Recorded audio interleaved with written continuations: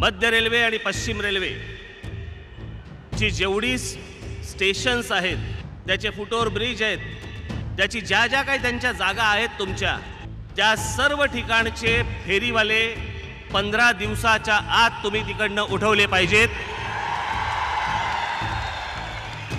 पंधरा दिवसाच्या आत जर रेल्वेने ते उठवले नाहीत तर सोळाव्या दिवशी म्हटलं माझी माणसं ती सगळं काम करतील आणि त्यांना हटवतील.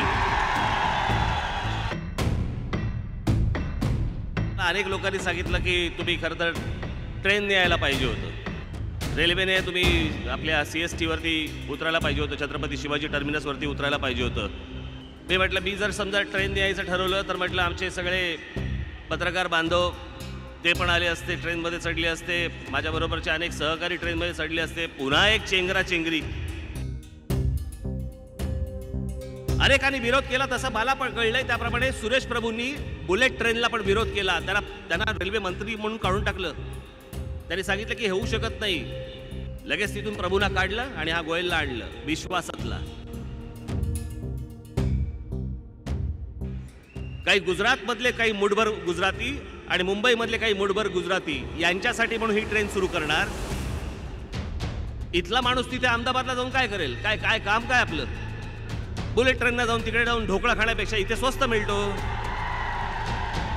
पण हे देशावरती एक लाख दहा हजार कोटीचं कर्ज गा- काढणार काही मुठभर लोकांसाठी म्हणून आणि कर्जाची परतफेड अख्खा देश करणार ज्यांचा या बुलेट ट्रेनशी काही संबंध नाही. नितीन गडकरींच्या एका प- प- पत्रकार परिषदेत का त्यांच्या एका मुलाखतीत नितीन गडकरी म्हणतात की आजचे दिनचं म्हणे ते आमच्या घशात अडकलेलं एक हाडूक आहे. त्याचा आम्हाला आता त्रास होतोय. म्हणजे आजचे दिन येणार नाही सवलत. परदेशातनं पैसा आणून तुमच्या प्रत्येकाच्या खात्यामध्ये पंधरा पंधरा लाख रुपये टाकणार असं मोदी म्हणाले होते पंतप्रधान म्हणाले होते. त्याच्यावरती त्याच्यानंतर अमित शहा म्हणतात की वो तो एक चुनावी जुमला था. आजचा मोर्चा हा आम्ही शांततेत काढलेला आहे. जर तुमच्या वागणुकीत आणि तुमच्या यंत्रणेमध्ये जर समजा सुधारणा झाल्या नाहीत तर माझा पुढचा मोर्चा हा शांततेत निघणार नाही.